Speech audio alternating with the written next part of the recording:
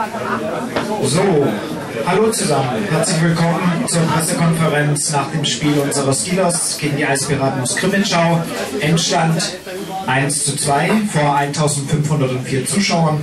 Hier oben bei mir die beiden Trainer Fabian Dahlem zu meiner rechten Seite und Kevin Godet zu meiner linken Seite. Fabian, die Worte des Gästetrainers hören wir zuerst. Von daher deine Einschätzung. Äh, ja, guten Abend allerseits erstmal äh, an diesem schönen Sonntag. Ähm, ja, wir haben, äh, glaube ich, 40 Minuten äh, sehr gutes Eishockey heute gespielt. Äh, sehr kompakt, äh, viele Chancen uns erarbeitet, mehr als sonst gegen Bietigheim. Ähm, haben auch mehr verhindert als sonst gegen Bietigheim. Das Hinspiel, das war das krasse Gegenteil. Da hat uns Bietigheim an die Wand gespielt und bei uns hat es einfach geklappt mit dem Scoring. Insofern war der Sieg heute sicherlich verdienter als der letzte. Und äh, ja, insgesamt muss ich sagen, die Mannschaft hat hervorragend gearbeitet. Geschlossene Mannschaftsleistung. Äh, die Führungsspieler haben einen tollen Job gemacht. Die Rollenspieler haben äh, ihren, ihren Job hervorragend erledigt. Der Torhüter hat hervorragend gefahren. So muss eine Mannschaft spielen. Äh, so spielt auch eine Mannschaft, die äh, immer noch an sich glaubt und nie aufgibt, obwohl wir äh, sicherlich in einer sehr schwierigen Phase sind am Ende dieser Saison. Und äh, ja, das macht natürlich Mut und äh, bringt sehr viel Zuversicht jetzt für die kommenden Aufgaben. Wir sind froh, dass wir hier die drei Punkte geholt haben und äh, ich hoffe, dass wir uns nächstes Jahr wiedersehen. Man Bietigheim ist mit neun Punkten schon ganz gut äh, aufgestellt, hat noch äh, einige Spiele, wo sie das alles nachholen können und äh, wie gesagt, wir werden in den nächsten Spielen hart arbeiten müssen, dass wir auch dementsprechend Punkte einheimsen können. Dankeschön. Frage, spiele jetzt zweimal gegen Bremerhaven. Wie stellst du das Team speziell ein? Ich meine, zwei Siege von euch gegen Bremerhaven tun ja auch uns gut. Spielt ja auch noch gegen Bremerhaven. Ja, wir sind hinter uns. Oder ist was hinter uns? Das ist auch Ja, klar. Also wir werden natürlich versuchen, die Bremerhaven eine Weile mal äh, zu besiegen. Das wird natürlich eine, äh, eine brutale Angelegenheit. Ich meine, ähm, aufgrund des, äh, des Spielplans und da sind wir mal ganz ehrlich, ich meine, acht Spiele nach einer 48 äh, äh, Spiele Saison und acht Spiele sollen dann über, über Abstieg und Nicht-Abstieg entscheiden. Das ist äh, äh, im Eishockey eigentlich eine, Sache, die, die ist komisch. Nach oben spielen sie Playoffs, nach unten spielen sie eine, äh, eine Round Robin. Ähm, aber gut, äh, so sind leider die Strukturen. Ähm, verdient hat insgesamt, glaube ich, überhaupt keiner abzusteigen. Äh, wenn ich mir die Mannschaften anschaue, zu eng war das Feld während der kompletten Saison zusammen und äh, zu hoch war das Niveau aller Mannschaften.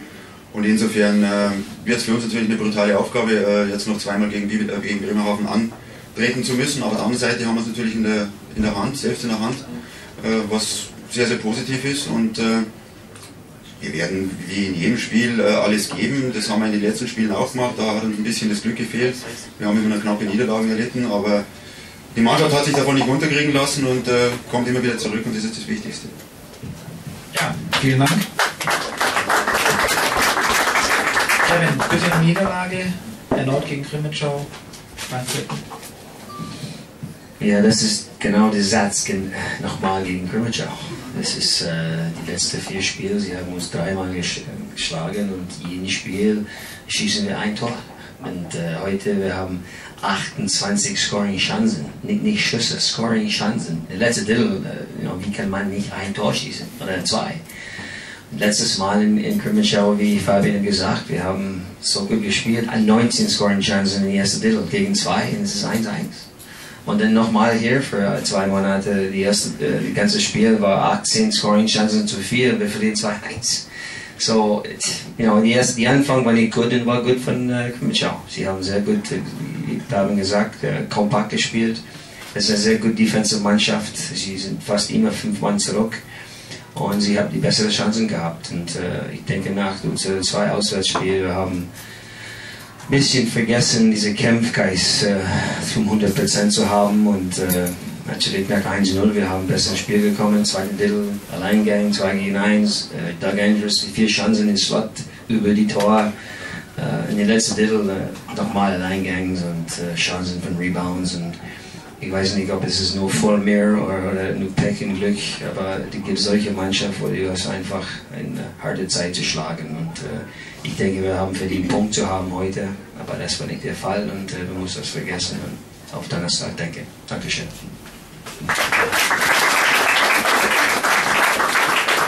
Ja, die Kollegen von der Presse sind aber zahlreich dabei, von daher gebe ich mal frei für die erste Frage.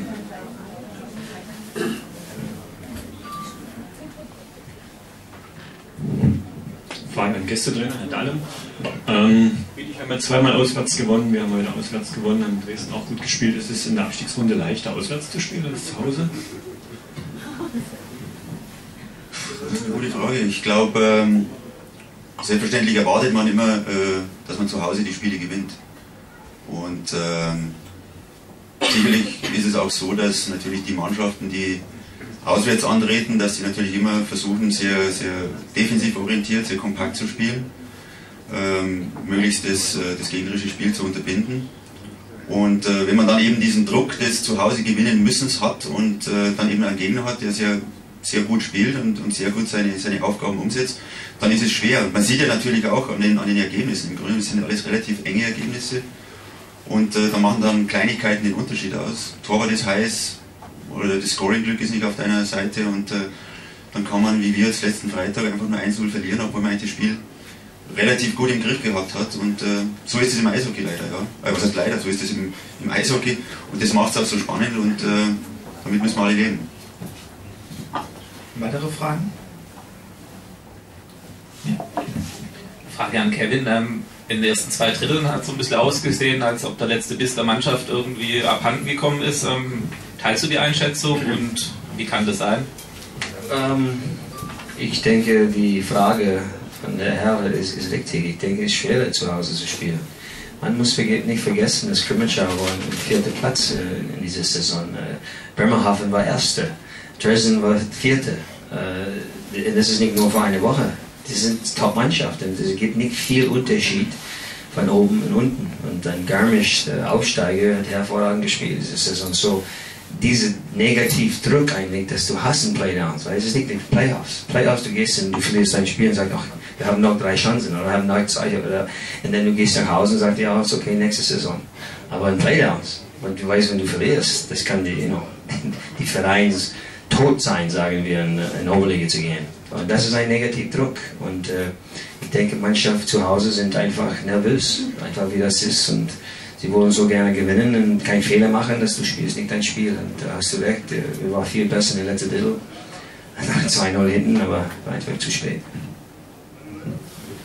Weitere Fragen? Das ist nicht der Fall. Ja, für uns geht es weiter am Donnerstag, 20 Uhr. Zu Gast dann die Dresdner Eislöwen. Ich wünsche unseren Gästen einen guten Nachhauseweg, viel Erfolg in Bremerhaven natürlich. Uns allen eine schöne Woche bis Donnerstag und dann bis zum Heimspiel. Dankeschön.